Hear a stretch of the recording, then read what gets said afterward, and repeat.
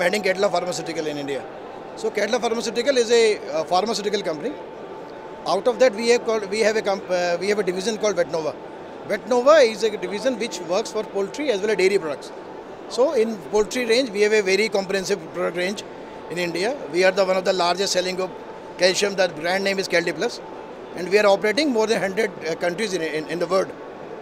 And uh, as of now, you can see the, we have put in our stall in Poultry India, and uh, we are looking forward for a great tomorrow with Cadila Pharmaceutical for uh, poultry farmers of India.